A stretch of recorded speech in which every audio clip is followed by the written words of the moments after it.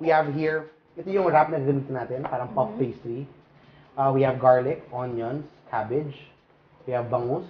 We have uh, sharp cheddar. We have mozzarella. We have eggs, bell peppers, and flour. So, yan.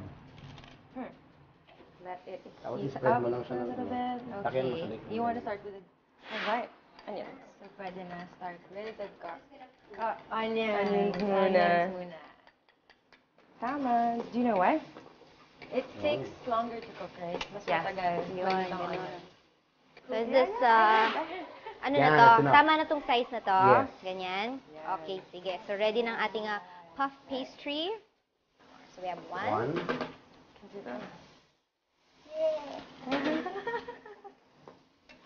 Okay, next. And then we put the garlic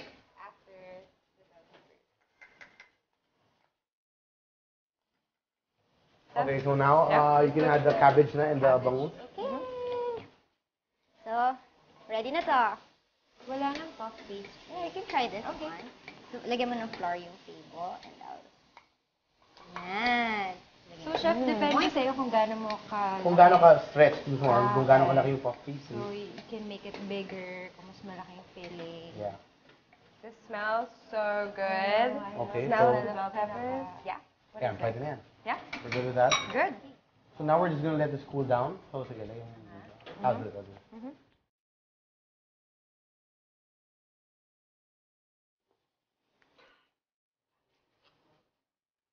We're here if you want to Uh-huh. Let the professionals do it. Yan. Okay, so now, uh, naglalagay na ako ng cheese. So, nag-cool down na to. Lagyan ako ng cheese ngayon. Sharp cheddar. And then, mozzarella. This one is already Magic. cold. Na-mix na. Okay, so mix na siya and all that. So, ngayon, pasok natin siya dito. So, i-stop na natin to. Kung pinapop. Tinapop.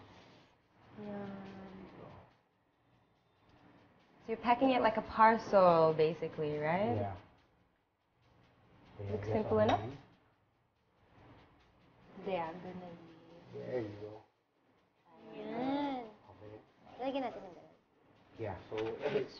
So para mag, ano na siya, no? Para magdikit siya, i-fork nyo lang.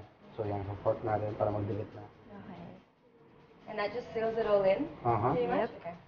And then, egg wash na.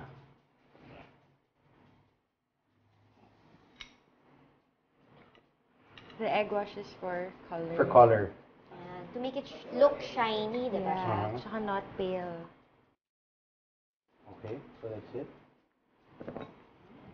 Here's the tray. So now we're just gonna bake this lang. Ito naman i-tray. So, uh, bake natin sa oven, 200 degrees Celsius, Okay. 15 minutes. 15 minutes. Fast. So, 15 minutes lang tayo mag-antay and then we can taste na! Yay!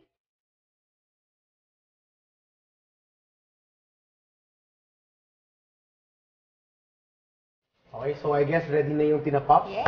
So, tikman na natin, okay? Okay. Sige, go. Yun na. Ganda, oh. Wow! Golden brown. Lupit ko talaga. They really puffed up. It's proper. Look at that. Ayun, oh, nag-pop. Perfect. Kaya siya tinapop. nice and puffy. Looks good. Okay, so- And crunchy. Mm. Hindi ginawa mo yung malaki. Akin ba yan? Diba? Oh.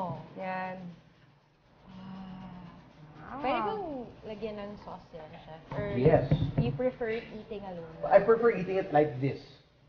Tapos meron kang kape or whatever, but... Or suka? I don't know. Parang ginawa pwede. Lumpiang. Isaw-saw sa suka.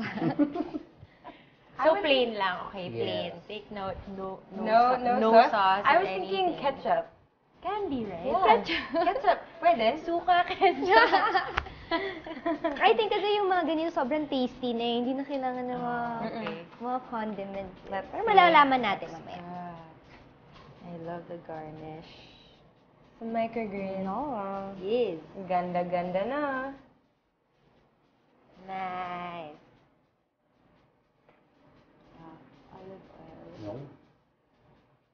These are some fancy. Yeah. I know. Ala, ayan.